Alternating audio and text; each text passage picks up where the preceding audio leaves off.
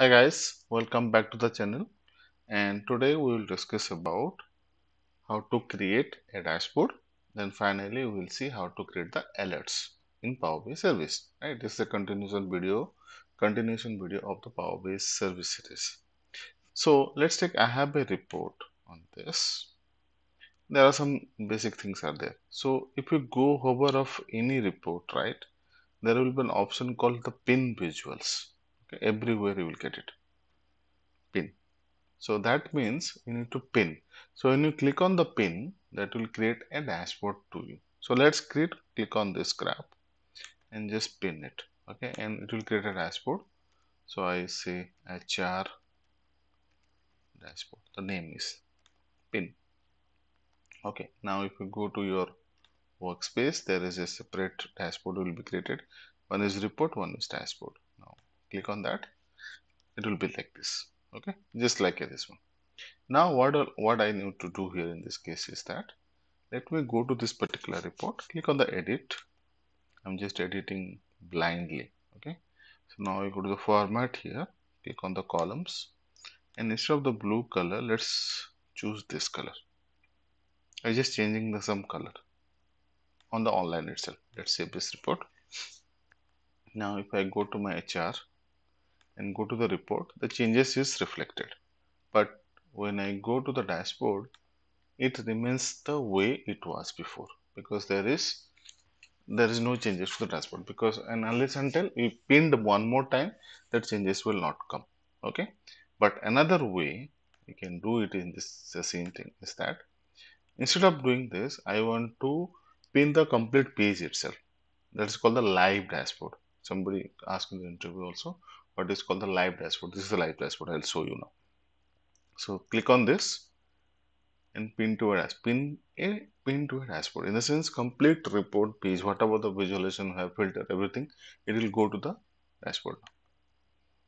So pin live. This is called your live dashboard okay? Now if you go to your dashboard now there will be two things. First is this one we already pinned and the other one will be this one. The complete page itself it is coming there. Okay? Make sense? Here you can do the filtering also. Everything. Now what i need to do here in this case is this is a live one.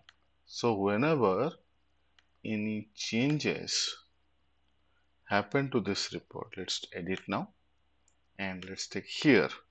I want to change some column value again to let's take to this color. Right? I did it save this file right? And suppose I want to go to the workspace HR click on the HR dashboard just see go down. It's also getting changed right? Because this is a live kind of thing. Whenever any changes to the particular report it will be like this. This is first thing. This is called the live dashboard. Second. Second is that suppose we want to have some kind of not this report sorry go to the HR report and click on the your HR or the human resource your report. Here somehow we want to create one alerts kind of things. Let's take here in this case you want to create an alert of the turnover rate. So it, it is crossing 50 percent then you want to have alerts. It will give your team member indication that you want to create an alert. So for that in report, there is no option to create the alerts. Alerts only can be done in dashboard and that to be for the three visualization. Card, gauge, KPI. These are the three visuals where you can create your alerts. So let's pin this visual now first of all. I pinned it separately. Now I will go to my dashboard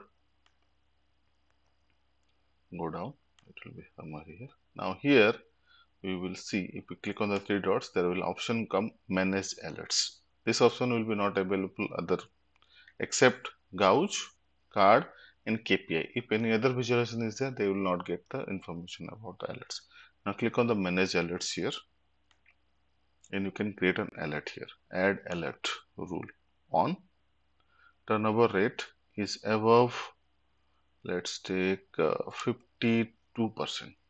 Somewhere I can say 52% on how you want to give your data like at, at most every 24 hours or for one hour let's say 24 hours send email to okay? Then save and close.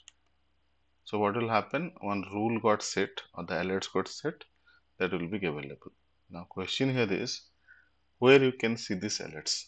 We created so what do we need to do is that go to your workspace and click on this settings. Here all the information will be available. If you click on the alerts there is one alert just now created. We can off also from here and we can edit also from here. You can delete from here as well. So, so suppose you want to edit it if you just click on that automatically this will come up and it will you can change it out wherever you want okay? So how you go? Settings then you can see the alerts here. Okay? Fine? Okay this is that's it for today. And we'll start working on different concept of the power bi service as well. Thanks for watching. Have a nice day. Please please please do subscribe for this all this content which i'm planning to put it.